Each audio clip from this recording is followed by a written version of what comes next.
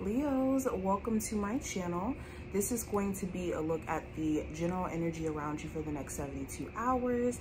Let's go ahead and jump straight into your reading. If you want to see future readings from me, make sure that you hit the subscribe button and the notification bell so you never miss a beat whenever I upload here on the channel. But let's see what's going on. First card is going to represent just the general energy around you for the next 72 hours. So we have the Magician.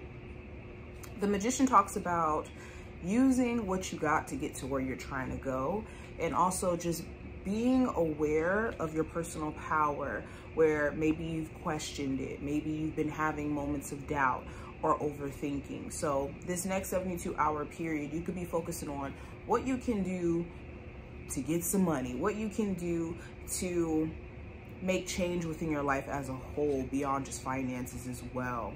You could be questioning also is there a love interest or a friend or someone in your life at this moment who's manipulative. Like their intentions are they pure? Are they you know trying to get what they want out of the situation or just saying things and not necessarily meaning it? So you could be assessing someone's motives during this time frame. When it comes to career and finance let's look at that we have the king, oh, not the king, the queen of pentacles. So the queen of pentacles talks about us like taking the time out to nurture our finances, nurture our resources, or paying closer, closer attention to it. So for this next 72 hour time frame, you could be very mindful about how you're spending money. You could be asking certain questions around like how to experience a financial shift or what you need to do, what do you need to sacrifice, uh, what financial changes do you need to make in order for this to happen. For any of my Leos who have a business, you could be taking the time out to nurture your business or reassessing like the services you offer or the products that you offer and trying to find ways to level up your skill. Yeah, some of you could even be questioning should I go into owning a business or offering services where I know how to do, let's say, hair, or I know how to do certain services that could potentially make me money. So that's something you could be looking closer at. Yeah, definitely trying to be cautious around how money is spent though during this time frame. Now, going into love, let's look at that. What's the energy around love for my Leos? We have the moon card. So you could be in a space to where you just don't know what's about to happen next with an existing connection or just in general for my singles. You could be single as a Pringle and this may be for a while or may have been for a while. And it's this question of like, okay, will things change or will I ever meet someone?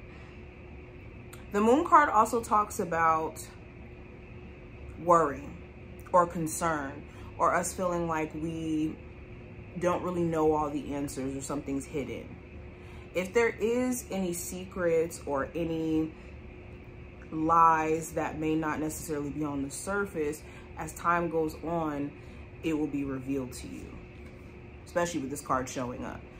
And for others of you, it's important you don't let worry cloud your judgment or make you make moves or decisions around your love connection that aren't really based in fact, just based off of, like we said, worry. Hmm, you could also feel like you don't really know where things lie between you and a new love interest.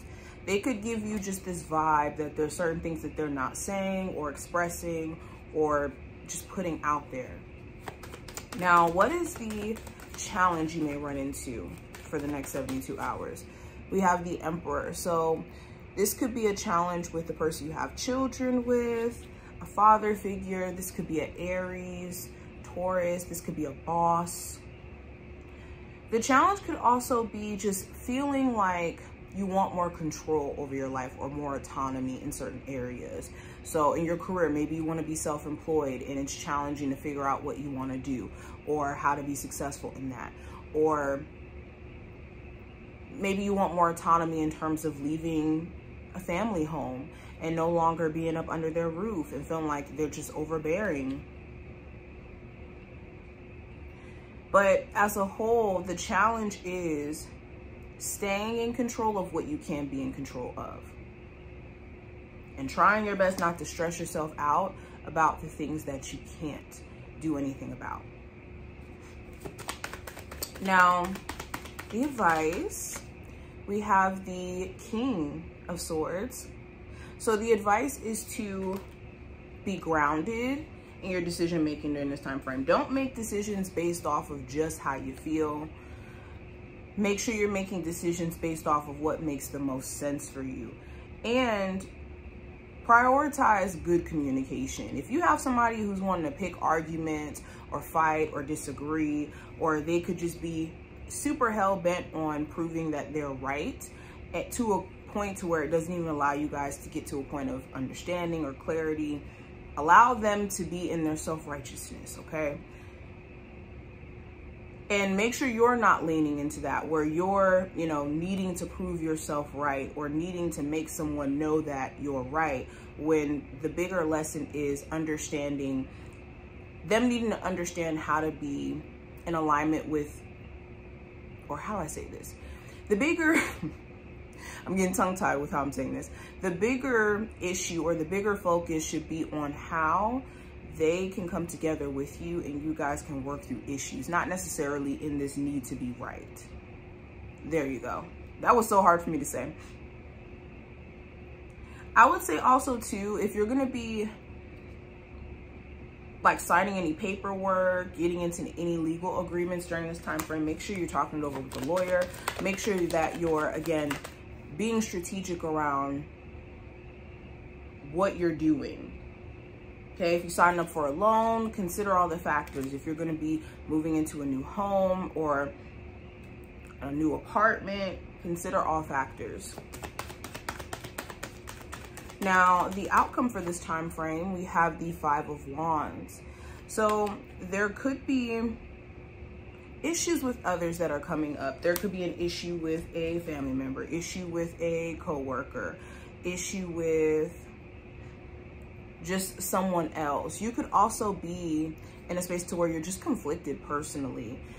You may not know like, okay, I'm interested in this person romantically, but I don't know what they have going on. They could have drama that I don't want to be involved with, or they seem conflicted on what they want. So that could be a little bit annoying. Uh, this could be just useless arguments that are coming up. It's important, like I said, that you don't get into like little tiffs or arguments that don't necessarily have to be just dramatic or over overgrown. But I wish you the best of luck. Thank you so much for watching and I will see you in the next one.